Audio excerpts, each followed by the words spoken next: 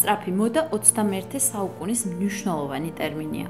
ის გულისხმობს სწრაფი პროცესით მიღებულ სამოს, რომლის ფასიც საკმაოდ დაბალია და ხარისხიც ასევე შესაბამისი. სწრაფი მოდის ბრენდების წარმოება დიდ გავლენას ახდენს გარემოზე.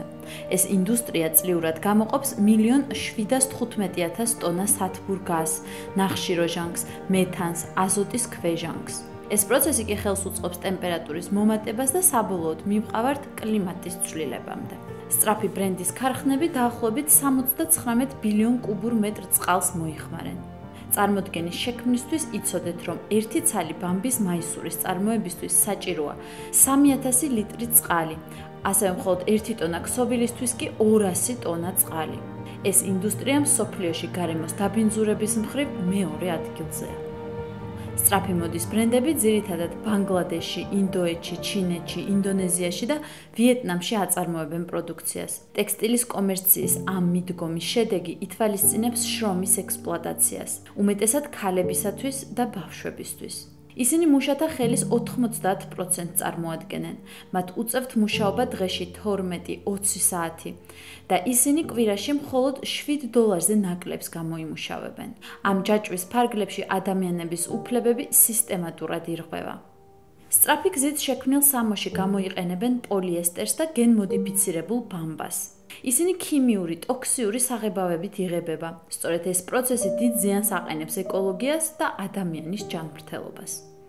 მიკროორგანიზმების განადგურება, ტბების და მდინარეების დაბინძურება, ოკეანეების მჟავიანობა, ეს ყველა რეალური საფრთხეა ჩვენი ბუნებისთვის. წლების განმავლობაში მომხმარებლური ფსიქოლოგია შეიცვალა. დღეს ადამიანები ორჯერ მეტი რაოდენობის ტანსაცმელს იძენენ, ვიდრე 10 წლის წინ. სწრაფი პროცესის შექმნილი სამოსი საკმაოდ იაფიღებს.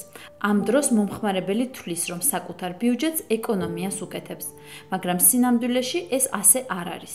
სტატისტიკურად მსგავსი სამოცი ერთ წელზე ნაკლებ დროში მიდის ნაგავსაყრელზე.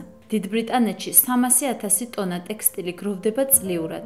შეერთებულ შტატებში კი შეძენიდან 6 თვეში მხოლოდ 1%-ია გამოყენებაში.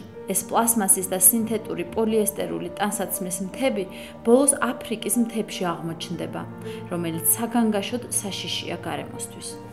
დღეს უკვე სწრაფ მოდას ნელ-ნელა ანაცვლებს მდგრადი მოდა. დიდი კომპანიები ქმნიან ქვებრენდებს, რომელიც ეკომეგობრული გზით მიღებულ პროდუქციას ითვალისწინებს. იზრდება ახალი ინიციატივები. დიდ ბრიტანეთში, ესპანეთში და სხვა მრავალ ქვეყანაში მდგრადი მოდა როგორც ფაკულტეტი დაინერგა სასწავლო სისტემაში.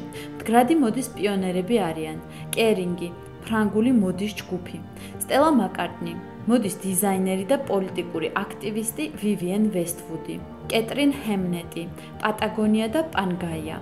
ეს კომპანიები იცავენ ყველანაირ ეთიკას პროდუქციის წარმოებისას. კოპენჰაგენში მდგრადი მოდის სამიტიც კი დააარსეს. ჩვენ არ გვაქვს პლანეტა B. დღეს ბევრი ალტერნატივაა სწრაფი მოდის ჩასანაცვლებლად. მეორადი და საქველმოქმედო მაღაზიები, გადამუშავება და გადაკეთება, ორგანიზაციებთან თანამშრომლობა, ტექსტილის ბრუნვა, გაყიდვა ან გაჩუქება.